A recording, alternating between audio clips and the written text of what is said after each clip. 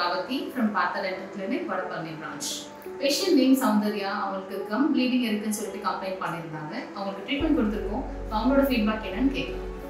Hi என்னோட name Soundarya தான். இந்த மாதிரி பிரபாதி மேடம் தான் எனக்கு பண்ணியிருந்தாங்க. ஸோ வரும்போது ரொம்ப வலிக்கும் அப்படி இப்படின்னு நிறைய பேர் சொன்னாங்க நானும் வந்து நமக்கும் வலிக்கும் அப்படின்ட்டு நானும் பயந்துட்டே இருந்தேன்.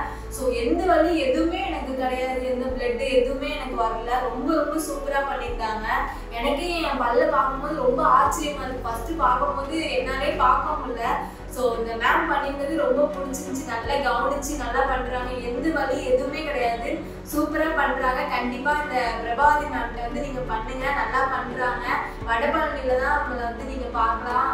எனக்கே ரொம்ப வலிக்கும். எப்பயும் ஏதாச்சும் வலி இருக்குமான்னு பார்க்குறோம் ஒண்ணுமே இல்லை. மற்றபடி ரொம்ப சூப்பரா பண்றாங்க.